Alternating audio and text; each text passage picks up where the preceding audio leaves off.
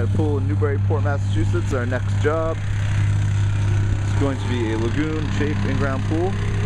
Before we do that though, we have to build a nice retaining wall around the entire property.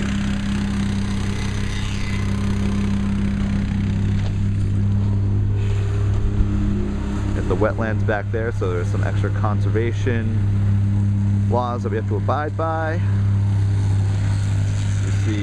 That orange and black tubing there is part of that.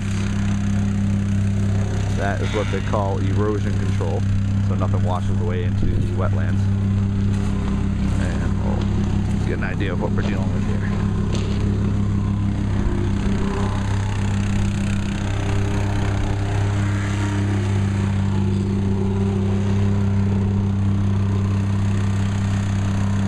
truck on the ground making a level, start first layer of blocks.